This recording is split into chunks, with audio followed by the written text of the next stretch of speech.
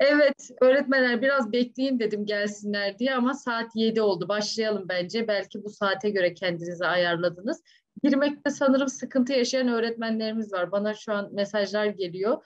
Ee, neden sıkıntı yaşanıyor bilmiyorum. Siz girdiniz gayet rahat. Sevindim girmenize. İnşallah onlar da bir bir sorunlarını çözer, gelirler diyeyim öğretmenler. Chat şurada kalsın, açık kalsın. Evet, hoş geldiniz. Hepinize hayırlı geceler değerli öğretmenlerimiz. Ee, geldiniz bugün buraya, beni mutlu ettiniz diyeyim. DHBT ile alakalı sizlerle kısa bir bilgilendirme konuşması yapmak istedik. Dedik ki DHBT'ye girecek öğretmenlerimize şöyle ufak bir konuşma yapalım, ufak bir bilgilendirme yapalım. Aynı zamanda sizden sorular varsa sizden gelecek soruları da yanıtlayalım dedik öğretmenler. Daha fazla uzatmadan başlayayım. Sayı gittikçe artıyor sanırım girme sorunu çözülüyor. Derya ben teşekkür ederim. Tekrar hoş geldiniz. Haydi gelsinler birazcık daha. Evet öğretmenler ben kendimi anlattım ama sizde keyifler nasıl? İyi misiniz? Nasıl gidiyor hayat? Umarım her şey iyi gidiyordur. Şerafettin sana da iyi akşamlar. Meral veririz inşallah mülakatla ilgili bilgide. Umarım keyifler yerindedir. İyisinizdir. Sağlığınız, saatiniz, keyfiniz. Beşir sana da hayırlı akşamlar. Sağ olasın. Oh Şeyma çok iyiyim dedim. Bizi mutlu ettin valla. Enerjimizi yerine getirdin. Sümeyye ben de sizle olduğuma çok mutluyum. Gelmenize çok sevindim. Benden de kalpler, gözü kalpte. İyiyim çok şükür. Elif inşallah siz de çok iyisinizdir.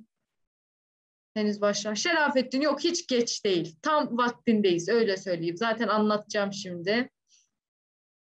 Ayşenur yapacağım. ÖABT ile ilgili de bilgilendirme yapacağım. İlk Nur benden de sana kalp. Tamam ben hafiften artık başlayayım. Vaktimizi çok şey yapmayalım. Chat kalsın şu anlık bir sıkıntısı yok. Heh, evet öğretmenler dedik ki bu gece şöyle birazcık DHBT bilgilendirmesi yapalım. Çünkü DHBT ile alakalı maalesef ki çok fazla bilgi alabileceğimiz kaynaklar, internet siteleri, evet Şerafettin bilgi vereceğim kurs hakkında da. Çok bilgi alabileceğimiz kaynaklar, internet siteleri vesaire yok. Bu DHBT nedir? KPSS mi önemlidir? DHBT mi? Mülakatı nasıldır? Bununla alakalı şöyle bir ufak bir bilgilendirme yapalım. Bizim kursumuzla alakalı da şu an zaten farklı UZEM platformundayız. Farklı UZEM'le alakalı da birkaç bilgilendirme yapalım ve konuşmayı bitirelim öğretmenler inşallah. Sizden de en son sorularınızı yine alırız. Şimdi öğretmenler ilk önce ben DHBT sınavıyla birazcık başlamak istiyorum. Sonra sorularımız vesaire devam ederiz. DHBT sınavı biliyorsunuz ki iki yılda bir yapılan bir sınav. 2021 e, yılında zaten sınavımız yapılmıştı ertelendiği için. Normalde 2020 yılında yapılacaktı ama pandemiden dolayı ertelendi. Sonradan sınav yapıldı. Nisan ayı gibi hatırlamıyorsam sınav yapıldı. Bu yılda normalde sınavın yapılması lazım. Hala maalesef ki ÖSYM'den bir bilgilendirme bize gelmedi. Yani sınav tarihi, başvuru tarihi bunlar keşke gelse biz de kendimizi bunlara göre planlasak. Ya Aralık'ta yapılır ya da Nisan'da diye tahmin ediyoruz. Bu tabii ki bizim tamamen tahminimiz. Ama ÖSYM'nin tabii ki açıklamasını bekliyoruz biz de dört gözle. Ya Aralık ya Nisan diye tahmin ediyoruz. Süre gittikçe geçiyor. İnşallah Aralık demezler. Çok diyeceklerini de düşünmüyorum diyeyim. Çünkü zaman gittikçe geçti. DHBT'de inşallah bu yıl gayet güzel bir şekilde yapılır diyeyim öğretmenler. DHBT mi önemli, KPSS mi diye öğretmenlerimizden çok soru geliyor. Mesela diyorlar ki hocam benim KPSS puanım kötü. Ee, acaba DHBT ile ben bunu kurtarabilir miyim yoksa KPSS çok mu etkili diye soruyorlar. KPSS DHBT sınavında yüzde otuz etkiliyken DHBT sınavımız yüzde yetmiş etkili olmuş oluyor. Oranımız böyle yani. Bu yüzden de KPSS sınavının bizim için çok çok büyük bir etkisi olmamış oluyor. Tabii ki etkisi var ama çok çok büyük bir etkisi olduğunu söyleyemem. Bizim için sınav bazlı düşünürsek önemli olan şeyin daha çok DHBT sınavı olduğunu görüyoruz. DHBT 1 ve DHBT 2 konuları yine öğretmenlerimizden çok soru geliyor. DHBT 1 ve 2 konularıyla alakalı. DHBT 1 bütün adayların ortak olarak girdiği sınavdır. DHBT 1'de toplam 20 soru sorulur. DHBT 2'de yine toplam 20 soru sorulur. Ses az mı öğretmenler? Dönüt alayım bir tekrar. Sümeyye acaba sende mi herkeste mi az? Ses az mı öğretmenler? Dönüt alayım. Tamam çok teşekkür ederim. Tamam çok teşekkürler. Sümeyye kulaklık varsa onu çıkart ya da kulaklık yoksa tak. E, farklı metotlar denersek belki daha iyi olur. Devam edeyim öğretmenler. DHBT 1'de toplam 20 soru, DHBT 2'de 20 tane soru soruluyor bize.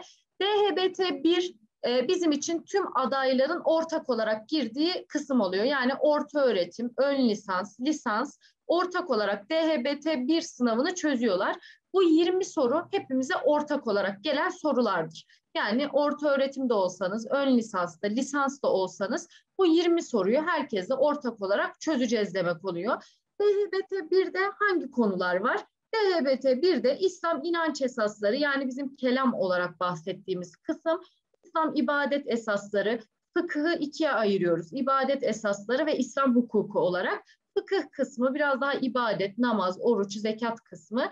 Kur'an bilgisi, Kur'an bilgisinin içerisine tefsir giriyor, tecvid giriyor, Kur'an-ı Kerim'in muhtevası, meal kısmı giriyor. Bağnur bir dakika bakacağım. E, meal kısmı giriyor. Siyer yani peygamberimizin hayatıyla alakalı kısım ve İslam ahlakı kısmı bizim için DHBT 1'de tüm adayların ortak olarak çözdüğü kısımdır diyorum öğretmenlerim. DHBT iki yılda bir oluyor hocam. Evet 2022'de olur sıradaki sınav. Evet. Evet Bağnur. Katılıyorum sana. Ama hiçbir zaman e, KPSS sınavı DHBT sınavından daha önemli olamaz. Çünkü oran belli. Evet KPSS sınavı bu yıl gerçekten etkili oldu. Ama elimizde belli bir oran var. Yani ben DHBT ile kurtarabilir miyim, kurtaramaz mıyım diyen öğretmenlerimiz DHBT ile haydi haydiye kurtarabilir. Ya da istediğimiz kadar KPSS'den 80-90 puan alalım. DHBT'den düşük bir puan alırsak olay bizim için bitmiş demektir. Ben KPSS, DHBT sıralamasında diyeyim. Yani ikisini yan yana koyduğumda KPSS'yi hiç açıkçası önemli görmüyorum DHBT gibi bir sınavımız varken. Çünkü yüzde yetmişe yüzde otuz diyoruz. Oran gayet net ve belli bence. Bir dahaki sınav 2022'de olur katılıyorum. Niye gibi biz de tahmin ediyoruz. Ama aralık etmin eden öğretmenimiz de var. Onlara da bir şey diyemiyorum tabii ki. Herkesin tahmini ÖSYM'yi bekliyoruz dört göz. Devam ediyorum bilgilendirmeye. Çünkü ben konuştuktan sonra açayım. Çünkü evet Esra aynen alanla kurtarır diyor genelde. Katılıyorum. Chat şöyle biraz kenara koyayım. Birazcık konuştuktan sonra chatten sürekli sizden dönüt alacağım inşallah. Sorularınızı yanıtlamayı ben de istiyorum. Evet öğretmenler hepimizin ortak olarak çözeceği kısım işte bu kısımlar. İslam inanç esasları, ibadet esasları, Kur'an bilgisi, siyer ve İslam ahlakından toplam 20 tane soru geliyor DHBT 1'de ve bunu bütün adaylar e, yani öğrenime bakmaksızın orta öğretim, ön lisans, lisans hepsi ortak olarak cevaplıyorlar diyorum. DHBT 1'de dediğimiz gibi toplam 20 tane sorumuz vardı.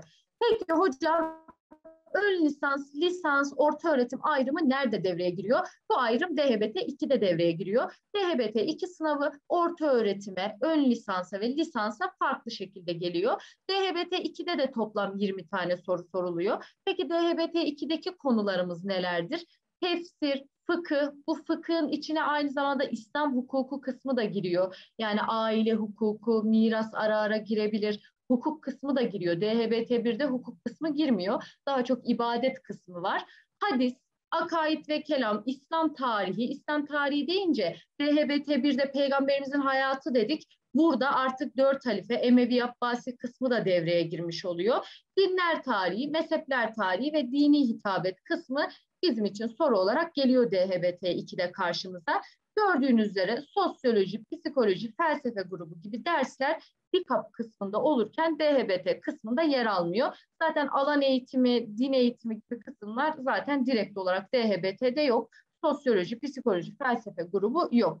DHBT konuları birazcık daha DİKAP'a göre az. Sadece DİKAP'tan farklı olarak dini hitabet ve İslam ahlakı kısmı var. Bir de yaşayan dünya dinleri var ama yaşayan dünya dinleri çok zor gelmiyor karşımıza. E, dinler tarihinin altında ele alıyoruz yaşayan dünya dinlerini. Dini hitabet ve İslam ahlakı DİKAP'tan farklı olarak gelen kısımlar bizim için öğretmenler. DHBT1 herkese ortak dedim. DHBT2 de orta öğretim, ön lisans, lisans ayrımlı olarak karşımıza geliyor. Buradan da yine toplam 20 soru karşımıza geliyor. DHBT'de toplamda 40 soru olması aslında çok avantajlı bir durum değil. Neden? Çünkü mesela koskoca bir konuya çalışıyoruz diyelim ki İslam tarihinde dört halife, Emevi, Abbasi çalışıyoruz. Hiç soru gelmeyebiliyor. Çünkü soru sayısı az olduğu için bazen bazı konuları devre dışı bırakabiliyorlar. Ama biz o konulara çok sıkı hazırlanmış olabiliyoruz. Maalesef DHBT'de soru sayısının az olması birazcık bize dezavantajlı bir durum olarak karşımıza gelebiliyor. Ama DHBT'de konular az olduğu için aslında DİKAP kısmına göre söylüyorum. DİKAP'la kıyaslayınca neyi nasıl çalışacağımızı bildiğimiz zaman olay bizim için bitiyor. Yani DHBT'ye girecek öğretmenlerimiz eğer neyi ne kadar çalışacaklarını bilirlerse zaten Allah'ın izniyle her şey çok kolay olmuş oluyor. Mesela bana bir DİKAP öğretmeni dese ki hocam ben bu süreç içerisinde meal okuyayım mı? Ben defalarca DHBT derslerine, DİKAP derslerine girdim çok şükür. Meal okuyayım mı bu süreç içinde? Ben DİKAP öğretmenine derim ki hayır okuma. Yani meal normal günlük hayatında kendini geliştirmek için oku ama sınav sürecinde meal okuma, daha çok hukuk kısmına çalış, işte felsefe sorularını yorumlayabilmeye özen göster, paragraf çöz falan derim. Ama bir DHBT hocasına diyorum ki hocam süreç içinde mutlaka meal okuyun diyoruz. Ya da tecvidi mutlaka oturtturmaya çalışın diyoruz. Biz de uzaktan eğitim platformunda zaten meal diye ya da peygamberler tarihi diye ayrıca bir başlık ele alıyoruz ki DHBT öğretmenlerine fayda sağlasın diye. Burada benim sistemim şu konuya olmuş oluyor. Şu konuda aslında sistemde bulunmuş oluyorum. Bazı e, uzaktan eğitimde diyebilirim, dershanede diyebilirim. Bazı yerlerde şu yanlış maalesef algıyı görüyorum. Sanki DİKAP ve DHBT aynı şekilde çalışılmalıymış. DİKAP ve DHBT aynı şekilde gitmeliymiş gibi bir mantık görüyorum. Ama DİKAP ve DHBT aynı tarzda çalışılabilecek sınavlar değil öğretmenler. Yani bunu pozitif olarak mı görürsünüz, negatif olarak mı görürsünüz bilmiyorum ama sadece DHBT'ye girecek bir hocamız DİKAP sisteminden birazcık daha farklı çalışmalı. Farklı alanlara ağırlık vermelidir. Yani DHBT'ye girecek bir hocamız birazcık daha meal kısmına, ilmihal kısmına, tecvid, tefsir kısmına ağırlık verirken DİKAP kısmı daha çok felsefe grubuna bizim için ağırlık verebilir diyorum öğretmenler. Yani DHBT sınavına sizden isteğim nasıl çalışacağınızı bilerek çalışın ve DİKAP öğretmenlerinin çalışmasıyla, DİKAP kısmıyla aynı şekilde çalışılabilecek bir sınav olarak DHBT sınavına lütfen bakmayalım. Çünkü bu büyük bir taktik hatası olmuş oluyor bizim için. Eğer nasıl çalışacağınızı bilirseniz bu sınava ben nacizane Instagram üzerinden yardımcı olmaya çalışıyorum. Zaten uzaktan eğitim platformundan buradan sene boyunca dersleri bazı öğretmenlerle beraber götürüyoruz. Yani ben zaten bir şekilde yol göstermeye çalışıyorum. Siz de nasıl çalışacağınızı bir düzene, sistematiğe koyup sınavın mantığını anlarsak Allah'ın izniyle DHBT sınavı bizim için bir zorluk olmaktan tamamen kalkar. Bir de mülakat sınav sistemine gelmek istiyorum. Mülakatla alakalı çok soru geliyor karşımıza. Hocam mülakatla ilgili ne söylemek istiyorsunuz? Sınav mı önemli mi, mülakat mı önemli gibi sorular gelebiliyor öğretmenlerimizden. Sınav mı, mülakat mı? Tabii ki mülakat öğretmenler. Yani sadece ben sınavı şu açıdan, şu açılardan önemli görüyorum diyeyim siz yüksek puanlı bir şekilde zaten çağrılmak için belli bir puanı aşmak gerekiyor. O puanı aştıktan sonra 80 almış bir öğretmen, 70 almış bir öğretmen ya da 90 almış bir öğretmenin ne farkı var diyebilirsiniz. Ne farkı var? Mülakata girdiğinizde o mülakattaki hocalar bakıyor ki 90 almış bir kişi ya da 65 ile gelmiş bir kişi birazcık bakış açısı değişebiliyor tabii ki bilgi açısından. Mülakat her zaman DHBT sisteminde daha önemlidir. Yani DİKAP'a baktığımızda DİKAP'ta ben çok mülakatı önemli görmüyorum. Mülakat tamamen formalite olarak yapılan bir durum DİKAP'ta. Ama DHBT'de hepimiz biliyoruz ki mülakat sınavdan çok çok daha fazla önemlidir. Ama öyle bir şekilde sınava hazırlanmalıyız ki DHBT sınavına süreç içerisinde aynı zamanda mülakat konularını da halledebiliriz. Yani şöyle bir şey yapmak zorunda değiliz. Ben DHBT'ye hazırlanayım, sonra bir de ayrıyeten mülakata hazırlanırım. Bunu yapmak zorunda değilsin. Sen DHBT'ye hazırlanırken meal okursan, tefsire, tecvite hakim olursan, ufak ufak ezberlerini yaparsan ayrıyeten senin mülakata hazırlamana çok gerek kalmayacaktır. Sadece işte bir hafta iki hafta fazlaca üstünde durursun ama zaten sen süreç içerisinde mülakata da hazırlanmış olursun. Yani eğer bir sisteme sokarsak çalışma düzenimizi ve bu sınava nasıl hazırlanacağımızı bilirsek Allah'ın izniyle ben mülakata ayrı hazırlanayım, sınava ayrı hazırlanayım gibi bir durum bizim için kalmayacaktır öğretmenler. DHBT sınavı birazcık daha tefsir, muhteva, Kur'an ağırlıklı bir sınavdır bizim için. Eğer bu açılardan birazcık daha yeterli bir şekilde gidebilirsek Allah'ın izniyle olay bizim için çözülmüş olur. Bir de vurguladığım nokta şuydu. Kapı öğretmenleriyle aynı şekilde eğer sadece DHBT'ye girecekseniz, ikisine de girecekseniz ikisini aynı anda götürmek gerekiyor. Ama sadece DHBT sınavına girecek öğretmenlerimiz DİKAP tarzından birazcık daha farklı çalışırlarsa bizim için güzel olur. Yani bir DİKAP öğretmeni çok fazla meal, işte tecvid, Kur'an bilgisine çok aşırı hakim olmasına gerek yoktur. Ama DHBT'ye girecek bir hocamızın hem mülakat açısından hem de sınav açısından Kur'an bilgisine gerçekten iyi bir şekilde hakim olması gerekiyor. Vurgu yapacağımız yerlerin nereler olduğunu bilirsek Allah'ın izniyle bizim için güzel olur. Zaten şu konulara baktığımda tefsir Kur'an bilgisinin içinde fıkıh, fıkıhtan namazla ilgili bir soru geliyor. Zekatla ilgili bir soru mutlaka geliyor. Hadis arada gelir, arada gelmez. Bir soru genelde gelir hadisten. İslam tarihi kısmından dört halife Emevi Abbasi çok fazla DHBT kısmı sevmiyor açıkçası. Daha çok Peygamber Efendimizin hayatı kısmına yöneliyorlar. Dini hitabete bakarsam dini hitabet karşımıza direkt olarak yorum şeklinde geliyor. Yani dini hitabete biz uzaktan eğitim platformunda dini hitabeti anlatıyoruz ayrı bir ders olarak ama çok böyle ayrıca özenlice çalışmaya gerek olan bir kısım değil bizim için. Soruları incelediyseniz çıkmış soruları genel olarak yorum şeklinde karşımıza geliyor. Son öğretmenler sözlerimi toparlayayım. Chatten sizden e, sorular alayım diyeyim. DHBT 1 20 soru herkese ortak dedim.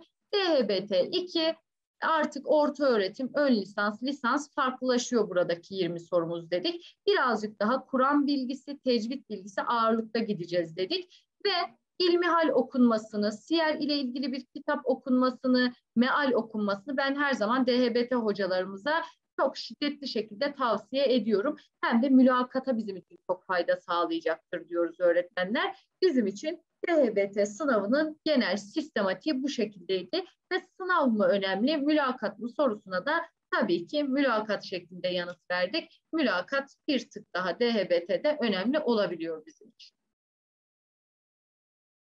Emine nasıl çalışacağımızı bilmiyorsak demiş Emine hocamız. Ben Instagram üzerinden programlar hazırlıyorum. Eğer hocam ben süreci buradan götüreyim sizinle beraber uzaktan eğitim şeklinde derseniz zaten biz hafta hafta konuları size bölüyoruz. Ara ara sizi yokluyoruz olmuş mu olmamış mı vesaire diye. Uzaktan eğitim almak isterseniz zaten buradan farklı uzun platformundan sınava kadar dersleri beraber götürebiliriz. Fatma Zehra bir şeyler yapmaya çalışacağım lisans için inşallah.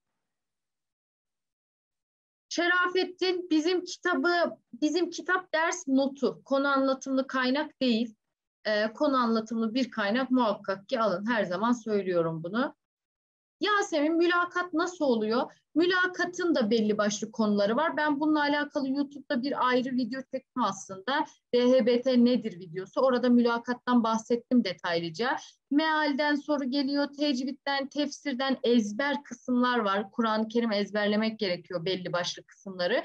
Oralardan sorular geliyor karşınıza. Bundan çok detaylı şekilde YouTube'daki videoda bahsettim DHBT nedir videosunda.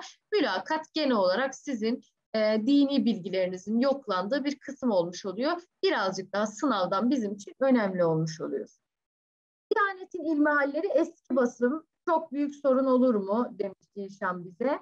E, yani Dilşan aslında çok büyük sorun olmaz ama şöyle bir kere DİKAP'ta bize MEP şunu yaptı maalesef ki yeni fetvayı sordu. Yani biz eski fetvaya göre anlatıyorduk. Ben de burada kendime eleştiri yapıyorum. Ama sınavdan 3 ay önce yeni bir fetva verilmiş. 3 ay önce sınavdan gitti oradan sordu soruyu. Yeni fetvaya göre sordu.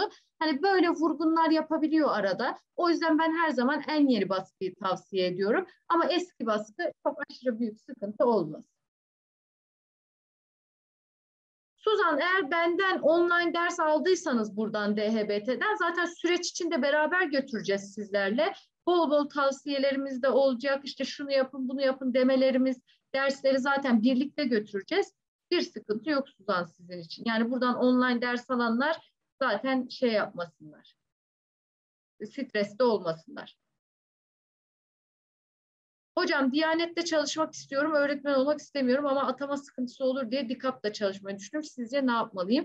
Şeyma, eğer ikisine de girmek istiyorsan ikisine de gir. Senin için bir dezavantajı olmayacaktır. Sadece birazcık daha fazla efor sarf etmen gerekecek. Yani DHBT'ye girenler birazcık daha az konu çalışırken DİKAP'a da gireceksen felsefe grubu, sosyoloji, psikoloji, alan eğitimi gibi kısımlar da çalışmak gerek. Ama ben bir yere odaklanma taraftarıyım. Yani ben neyi istiyorum onu düşün ve ona odaklan bence. Diğer kısma da girmek istersen yine girersin. Ama ben her zaman e, bir tarafa odaklanma taraftarıyım. Çünkü iki parçaya ayrıldığımızda aslında ikisine de tam odaklanamıyoruz gibi oluyor. Hem DİKAB'ı hem DHBT'yi sıkı bir şekilde birlikte yürütmek gerçekten zor. Çünkü ikisinin çalışma sistematiği birbirinden çok farklı. Sanki aynı gibi gösteriliyor ama birbirinden gerçekten farklı. İkisini bir arada götürmek birazcık zor diyebilirim Şeyma. Bence bir tarafa odaklan derim. Emine Allah sizden de razı olsun. Sümeyye bebeğin vardı. Dört ay çalıştın ama 76 aldım buna rağmen. Çok tebrik ediyoruz seni. Darısı isteyen herkese diyeyim. İlknur test kitabı buradan çok şey yapmayayım reklam. Ee, Instagram üzerinden öneririz inşallah. Amine size farklı uzemdeki derslerin saatleri bilgilendirme olarak gelir. Genelde akşam olacak saatler, gündüz olmaz. Bunu söyleyebilirim. Aysel, meal nasıl çalışabiliriz? Sağlam bir meal kitabı, güvendiğimiz bir meal kitabını alıp gün gün gün gün okuyoruz. Gerekirse altını ufak ufak çizerek okuyun, notlar alarak okuyabilirsiniz. Bu hem sizin için mülakata fayda sağlar hem de sınava fayda sağlar. Meal okumalarını ben her zaman tavsiye ediyorum öğretmenlere. Asiye inşallah YouTube videoları da olacak. İnşallah ama çok söz vermeyeyim.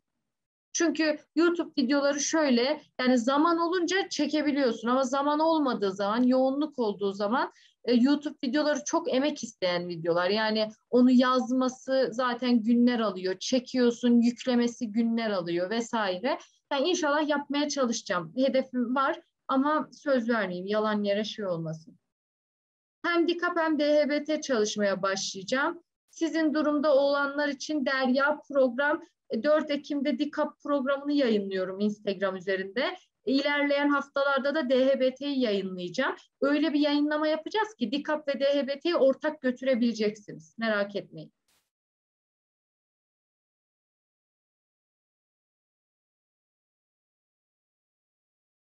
Ayşe evet e, etki her zaman aynı. Yani o yüzdelik etki her zaman aynı.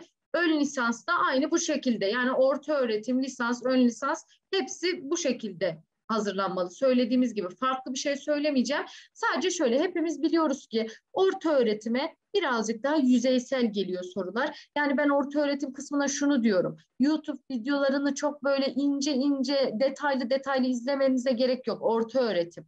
Ön lisans ve lisans birazcık daha benzer geliyor. Ama en ağır tabii ki lisans kısmına geliyor bizim için lisans kısmı didik didik didik konuların hepsini incelemesi lazım. Ön lisans direkt olarak videolardan gayet rahat bir şekilde gidebilir. Ön lisans ve lisans gayet zaten ortak bir şekilde gidebilirler.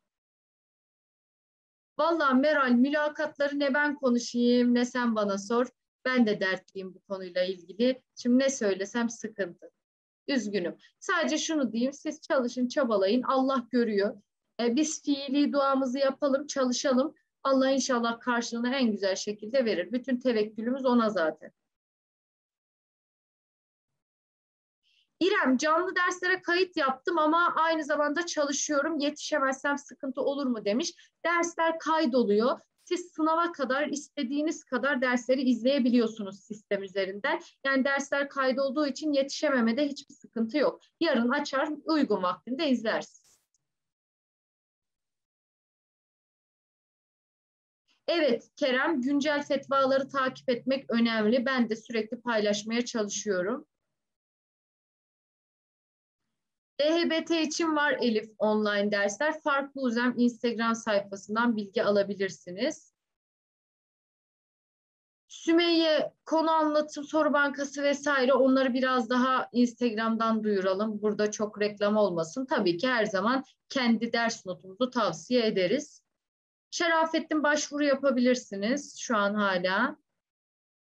Sizden online aldım hocam. Çok seviyoruz sizi. ÖSYM tarzısınız. Bizi gereksiz detaylarda boğmayacaksınız. Bu yüzden çok mutluyum. Suzan önceden online ders mi almıştın bizden? Çok mutlu oldum. Eskileri gördükçe çok mutlu oluyorum. Çünkü hani gerçekten önceden ders almış bir öğretmenin tekrar gelmesi demek bir memnuniyet belirtisidir. Her öğretmen de bu memnuniyeti görmekten hoşlanır diye düşünüyorum. Suzan kalp kalp sana. Ben de çok mutluyum sizle devam edeceğim için. Evet Dilşan direkt meal okumasını direkt kitap okur gibi. Ama şimdi şöyle şeyler var. Bazı yerlerde vurgulanması gereken nasıl söyleyeyim yani Kur'an tabii ki de hepsi çok önemli ama soru çıkabilecek yerleri siz anlarsınız. Mesela peygamberlerin mucizeleri, hangi peygamber hangi peygamberle akraba, hangi peygamberin ne olayı gerçekleşiyor, bu konularda birazcık daha not alarak gidebilirsiniz, altını çizebilirsiniz. Ama bazı ayetlerimiz var ki hani evrenin düzenine vurgu yapıyor, Allah'ın büyüklüğüne vurgu yapıyor. Buralardan soru gelmez tabii ki ama daha böyle peygamberler kısımları, akrabalıkları, mucizeleri, hangi olaydan dolayı hangi surenin indirilmesi buralara çok daha fazla dikkat etmemiz lazım. Özge inşallah yeni videolar YouTube'a koymaya çalışacağım. İnşallah diyeyim. Bu defa sizinle atanmak istiyorum. Sümeyye ben de bunu çok istiyorum. Merve lisanslara bir şey yapmaya çalışacağım. Derya Elmalı'nın meali olur.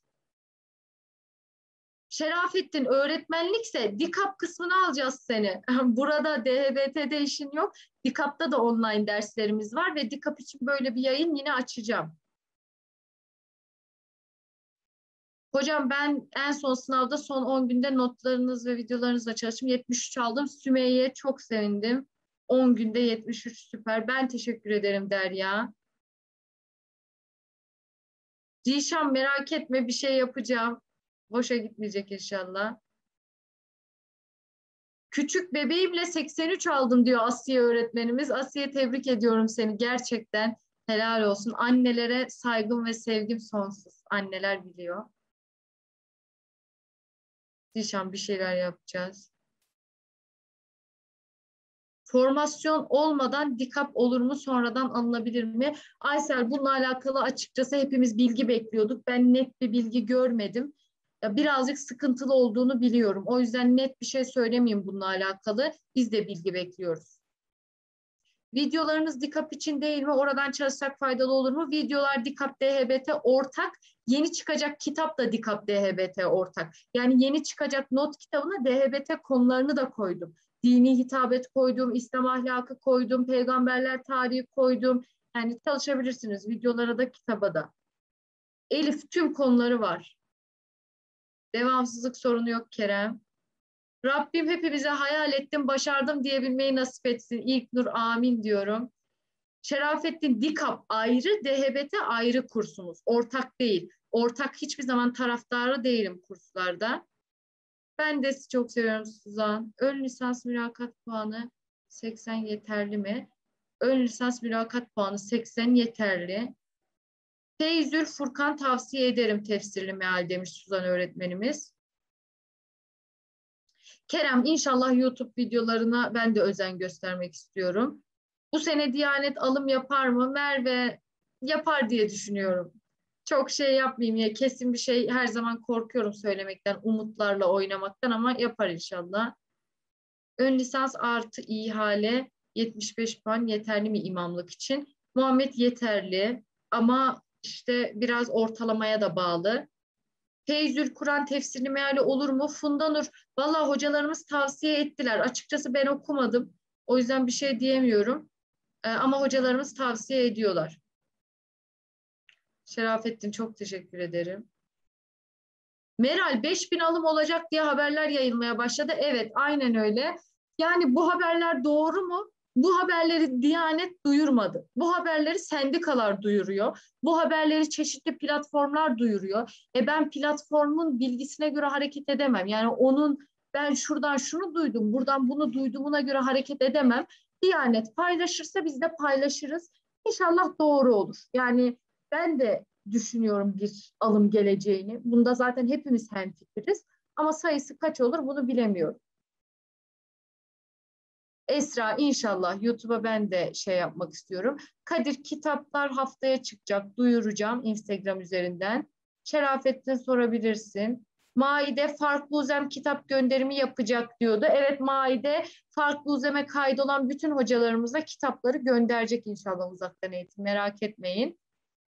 Firdevs Elmalılı ya da Diyanet'in herhangi bir meali olabilir. Allah sizden de razı olsun Meral. Merve orta öğretim 78 biraz riskli diyebilirim. Yani ne söylesem boş olur. İnşallah olur diyeyim ama biraz riskli. Hocam, on, hocam online kayıt yaptıranlara ders notlarınızın yenisini mi yolluyorsunuz yoksa geçenkileri mi yenisini? Yenisini yolluyoruz tabii ki. Şerafettin o da bize kalsın ya. Herkesin bir tercihi var. Herkesin mutlu olduğu bir alan var. Biz öğretmenlerle mutluyuz çok şükür. Hocam 6 aylık çalışma yeterli mi KPSS ve DHBT için? Evet yeterli. Bakın ben şey yapmıştım. Kap öğretmenleriyle dedim ki e, derece öğretmenleriyle canlı yayın. Instagram'a girin. Instagram'da IGTV videosu olarak yayınladık ve onu silmedik. Orada dereceye giren öğretmenlere bir bakın. Yani hep 5-6 aylık çalışma. YouTube videolarını çok iyi izlemişler. 5-6 kere YouTube videolarını izlemişler. Yani o derece öğretmenleri canlı yayın videosunu bence izleyin. Fayda sağlayacaktır size. Hafız lisans alınır mı bu alımda? Elif bence alınır. Şerafettin sizden de inşallah. Esra, Kalp. Lisans ile ön lisans farkı nedir? Konular aynı. Elif konular aynı. Ön lisans bir tık daha yüzeysel, lisans bir tık daha derin. Yani orta öğretim, lisans, ön lisans farkı nerede devreye giriyor? Yüzeysellik açısından. Lisansa baktığımızda konular aynı ama daha derin. Orta öğretim daha konular yüzeysel. Ön lisans ikisinin arası diyebilirim. Rahime ses sürekli niye kesiliyor acaba? Üzüldüm kulaklık yoksa onu tak derim. Diğerlerinde kesilse söylerlerdi diye düşünüyorum. Dikap DHBT ortak kitap Muhammed haftaya çıkacak. Uzaktan kayıt olduysan Dilşan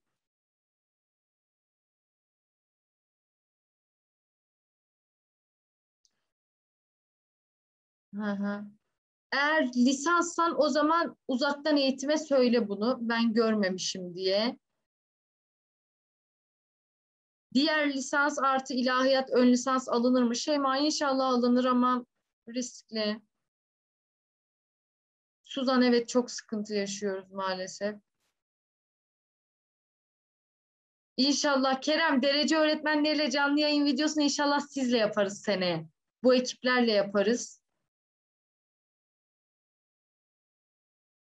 İnşallah Muhammed. Nisan'da askerden geleceğim. İnşallah kazanırım demiş Muhammed. İnşallah diyorum.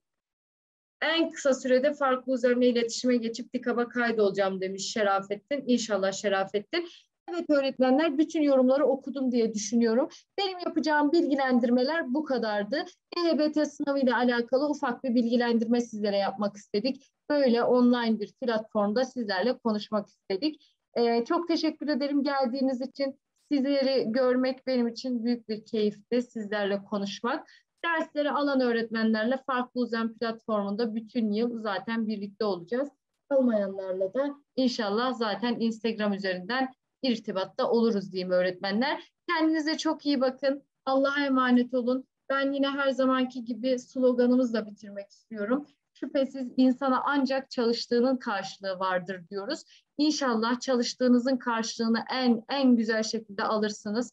Her zaman dualarım sizinle. Her zaman kalbim, dualarım, bütün hissiyatım, maneviyatım sizinle. Her zaman dua ediyorum öğretmenlerimle.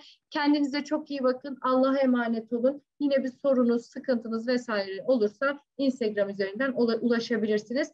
Allah sizden de razı olsun. Allah'a emanet olun. Kendinize çok iyi bakın öğretmenler. Görüşmek üzere.